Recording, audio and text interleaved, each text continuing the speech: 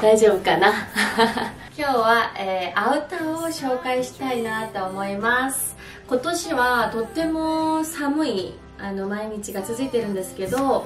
なんか本当今日も雪が降るって言いながらまだ降っていない。そうだけど本当に寒くて毎日朝あのお迎えもそうだしお仕事行く時も今年もとてもアウターに助けていただいてます。なので最近愛用しているアウターのスタイリングを紹介します。じゃん。えっとこのコートはうん多分妊娠してる時だったかな？お腹が大きくなった時にこのコートを着てこうやってこれあのこれはボタンとか前が止めるものが何もなく紐もないそういうストーンとしたあのコートなんですけども妊婦の時にセリーヌのお店行った時にいやめっちゃ可愛いかもってあと子供が生まれた時もあの抱っこひもしてたらなんかこうマントみたいに使えていいかもと思いながら買ったんですが 当時あのシンガポールに住んでたのでシンガポールはもうコートがいらないので結局ずっと切れず置いてあったんですけど今ちょうど最近の自分の気分にすごくハマって最近意外とすごく着てます。髪を着てからかなんかちょっとこういうオーバーサイズの服がこうバランスよく着れる気がして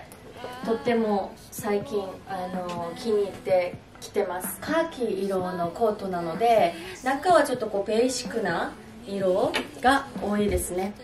あのパンツスタイルで着ることがすごい多くて上にこういうボリュームが大きく着てるコートは中を結構こう愛のこうスーッとしてる着るとバランスよくなるので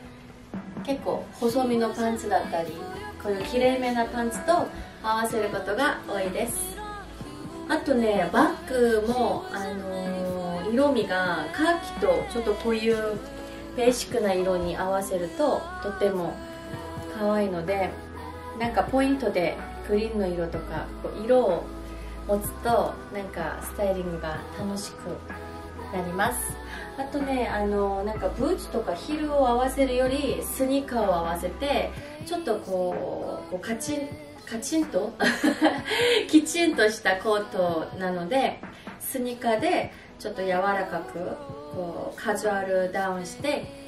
着ることがすごく多いです。これは本当にね買ってよかったと思う。結構コートとかアウターすごい好きで毎シーズ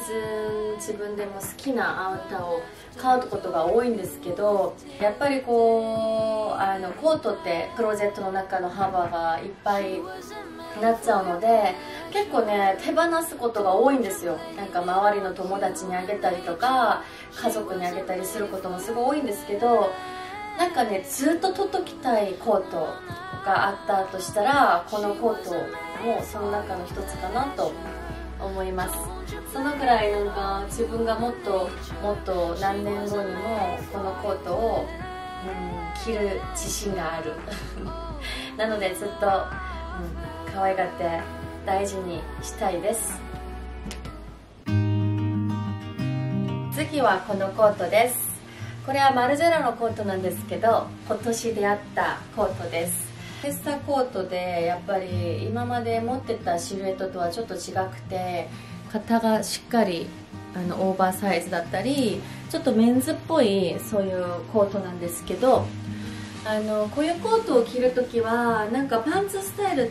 も、まあ、もちろん可愛いんですけどこういう時はうんこういうちょっとふんわりしてるスカート大好きだよね。もうこういうスカートめっちゃ好き。そうこういう時になんかちょっとこう可愛らしいコートを着るとちょっとこうなんか全部が可愛すぎちゃうので、うん、こういう時はちょっとこうメンズっぽいコートを羽織るのがすごい好きです。そういうバランスで着るとなんか大人フェミニンな感じになるのでこうちょっとふんわりしてるスカートにこういうコートを着てあとニットを合わせてなんかブラウスっていうよりニット着た方がちょっとカジュアルダウンできるのでそういう風にしてます。あとはねこのブーツ。これは今年出会って一番一番多分毎日毎日履いてて履きすぎて子供にいつも朝「ママまたそれ?」ってであのこのアレキサンダー・マックイーンなんですけどあの子供にいつもマックイーン履いてるマックイーン履いてるって もう覚えてもらったぐらい出会ってよかったブーツなんですけど本当になんかどんな服を着ててもすっごく私の自分が今着たいスタイリングにすごいハマってくれるのでこのブーツすっごく大活躍してくれてます。あとポイントでゴールドの色のバッグを持ちました。なんかこういうあのきちんとした感じのあのコート着るときにちょっとユニークなこういう形のバッグとかを持つとスタイリングがもっと楽しくなったりして好きです。あとねこの首のところがここだけベロアになっててそういうところもすっごい好きです。なんかこうかっこいい中エレガントなところもちゃんと入ってるので一番今着てるかな。寒いけどおしゃれは我慢です。おしゃれは我慢。寒い寒い。次はねえっ、とボアコート。えっと、コートを着る前にちょっとニットの話もしたいなと思って。あの私は結構こういう首がちゃんと詰まってるカシミヤ入ってるこういうニット。すごくすごく何年ももうずっと大事に着れるのであと何でも合わせやすいからこういうニットを見ると買った方がいい買った方がいい。本当飽きずにこうあの流行りもなくずっと着れるので今年はこのピンク色に出会えて買いました。多分来年も再来年もその先もずっとずっと着ると思う。そのぐらいすごく可愛い色だしそう形が本当に好きです。今日はアウターなのでこういうあのベーシックなニットとかを持ってるとアウター選びやすいなと思ってそれを言いたかったの。えっと次はボアコートなんですけど。あちょっと待って。お金が入ってあ4円でした。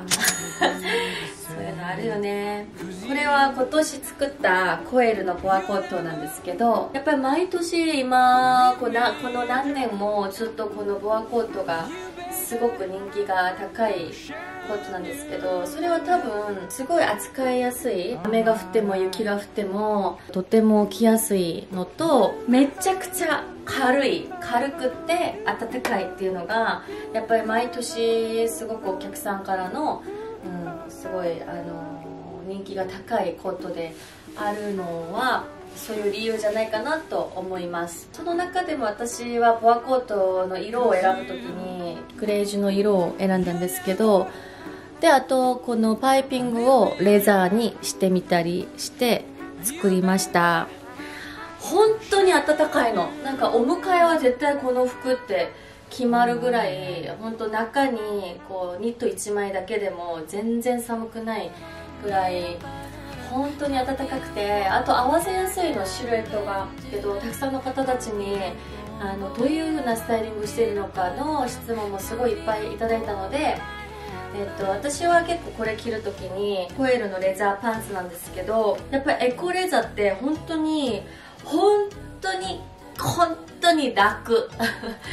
しかもすごい暖かいからこれとこれは今すごく制服並みな私のスタイリング毎日のあのスタイルに休みの日は本当にこういう風にほとんどこの感じで歩いています。じゃんさこうやって結構いる。であのパンツとあのアウターが結構ベーシックな色の時は中に色を合わせて軽い色とか色を遊べる色を入れるとちょっとこう気分も、うん、上がるしすごいスタイルが楽しくなる気がしていつもあの色を入れてます。あとこのコアコートはねあのこう首をねトレンチコートみたいに締めると首がマフラーいらないぐらいの感じのコートにしたかったのですっごい寒い日もこうやっておけば本当に暖かくて気持ちいいの。こうやって、うん、今年の冬寒いのを、えーと、楽しみながら 歩いております。どうだったかな皆さん。今日はアウターを紹介したんですけどヨンズたちはどんなアウターを着てるのかな、えー、また、えー、ファッションのコンテンツ撮ってみるので楽しみにしてね。またねみんな寒いから風邪ひかないでねバイバイ。